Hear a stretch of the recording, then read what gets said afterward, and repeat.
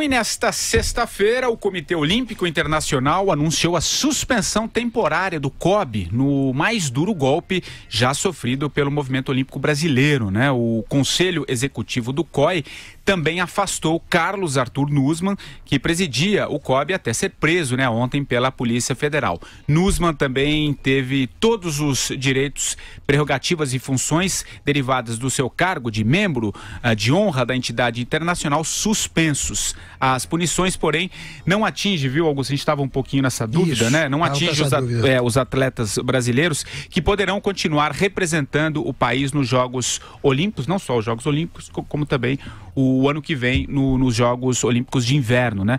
Menos mal que os atletas não são punidos nessa questão. Mas o que, que você achou dessa, dessa punição aí ao, ao, ao COB? Acho justíssima.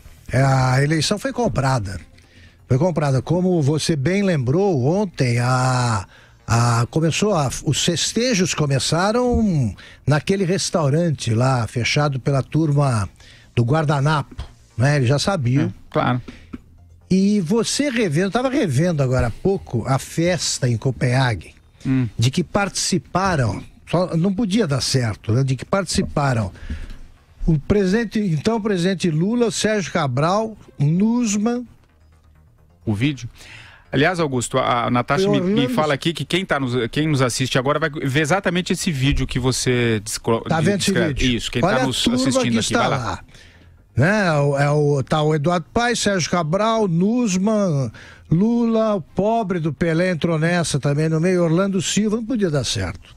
O Lula, aí você estava falando do que os, os, atletas poderão representar o país nos Jogos Olímpicos de Inverno, né?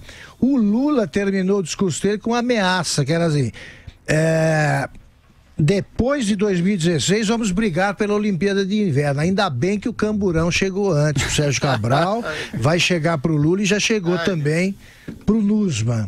Eles fizeram o diabo ali sabendo qual era o resultado. O Lula, ele fez o sinal da cruz, é, chorou, cantou Cidade Maravilhosa, se cobriu com a bandeira, chorou de novo e disse que era o dia mais feliz da minha vida.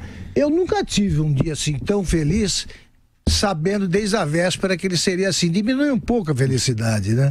Mas isso é o Brasil. É. Quer dizer, eu disse, eu, eu, já registrei que se que o Nusman é o Michael Phelps do nado no esgoto porque ele conseguiu 16 quilos de ouro numa única Olimpíada. Agora, se cinismo fosse modalidade olímpica, aí a delegação brasileira ia superar até a americana. É. Né? Ninguém, não queria para ninguém. Na história de todas as Olimpíadas, diga-se de passagem. Todas né? as Olimpíadas. Marcelo Madureira. Não, mas o assim, olha, nessa coisa, coisa olímpica eu entendo, Augusto, porque o, o Nosman foi grande atleta, foi campeão sul-americano e mundial de salto com mala, mala do Gedel, é claro. Agora, o Lula, o Luiz Inácio Lula da Silva também foi campeão mundial em quatro estilos, né? Formação de quadrilha, lavagem de dinheiro, corrupção passiva e outras coisas e nado livre.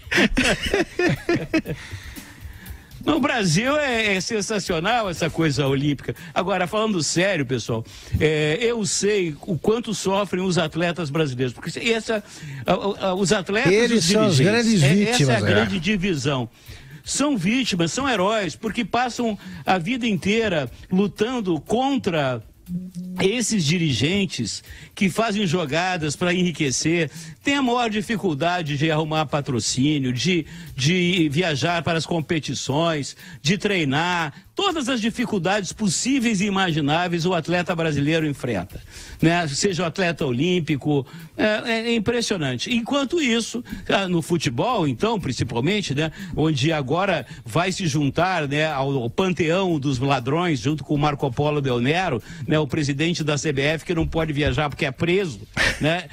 O, o, defunto João Avelange, que deve estar lá no inferno, né? possivelmente, né? Enfim, é, todos esses, essa bandidagem que são os dirigentes dos nossos esportes, em contraposição aos heróis que são os nossos atletas, que além de tudo sofrem na mão desses bandidos, né? Sofrem na mão desses bandidos. Tomara que agora Tomara que agora esse Carlos Arthur Nussmann e todos esses caras paguem, paguem por isso. Aquele cara da natação também, que foi é, recentemente também foi pego, o cara, sei lá, 40 anos, que era o presidente da Confederação de Natação, não sabia nem nadar, Guaraci, é, Nunes, se não me engano, nada a ver com Augusto Nunes, pelo amor de Deus. É esse Mas, enfim, mesmo. É, é, é, mas o, era o Guaraci. Pois é, todos os, esses dirigentes, se passar Guaraci. um pente fino, vão sobrar pouquíssimos. São os bandidos, uma quadrilha. Pegaram o chefe, agora vão pegar os outros, os capangas também.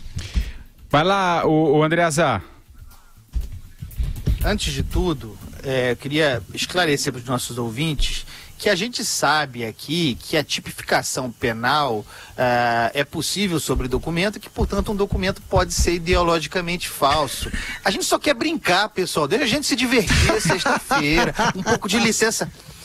Um pouco de licença poética, foi engraçado, eu estava achando o máximo a minha piada, mas ela, ela consiste, ela existe porque a gente conhece a tipificação. Tá, por favor, né? Nós não estamos aqui à toa, não somos tão idiotas assim. Isso é uma coisa. A outra é a seguinte, sobre o COI. O COI pune o Comitê Olímpico Brasileiro e o Carlos Arthur Nussmann com grande celeridade, mas parece que não tem nada a ver com isso, né? Na verdade, o COI está ex- exatamente se isolando do problema, como se os corrompidos não fossem os do COI.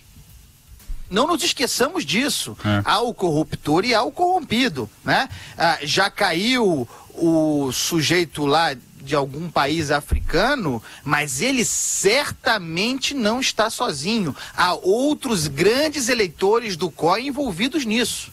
Então, o COI, olha que honradez, que maravilha, tira o corpo fora, isola, pune o Brasil, pune o COB, mas preserva os, os atletas brasileiros, mas faz isso também para se resguardar. Porque está implicado e e nós veremos nos próximos dias aparecer outros nomes. É questão de tempo. Isso é uma coisa. O Augusto falou sobre a pretensão brasileira de sediar as Olimpíadas de Inverno, né? Aí eu fiquei pensando, Patrick Santos, no- na patinação no gelo, né? Poderia ser na Baía de Guanabara. na Baía de Guanabara. Mas aí não seria sobre o gelo, seria sobre a merda mesmo. Hoje ele tá. A solidez já É, existe. tá a solidez, a solidez do, a solidez do piso estará garantida de qualquer maneira. Dá pra patinar. Quer dizer, eles usaram o o, nosso dinheiro até para comprar a Olimpíada. né? Exato, o povo, exato, o é. povo do Rio pagou por isso, pagou pela compra, sofreu aí eh, esse legado, né? Olímpico é co- composto composto por elefantes brancos e tal, e não veio, não sobraram vestígios de política esportiva, Nada. muito menos de política olímpica. A próxima Não Olimpíada, com um certeza, ciclo, o Brasil terá até nada. menos medalhas. Não houve um ciclo. O, o Madu tem toda a razão. São heróis patrocinados frequentemente pelas famílias e que são campeões não por causa do Brasil, mas apesar do Brasil. É. Apesar do Brasil, dos dirigentes esportivos brasileiros. Alguma coisa, Madu? Não, é isso mesmo. É, é isso mesmo. Infelizmente, cadeia para esses caras também. É isso aí.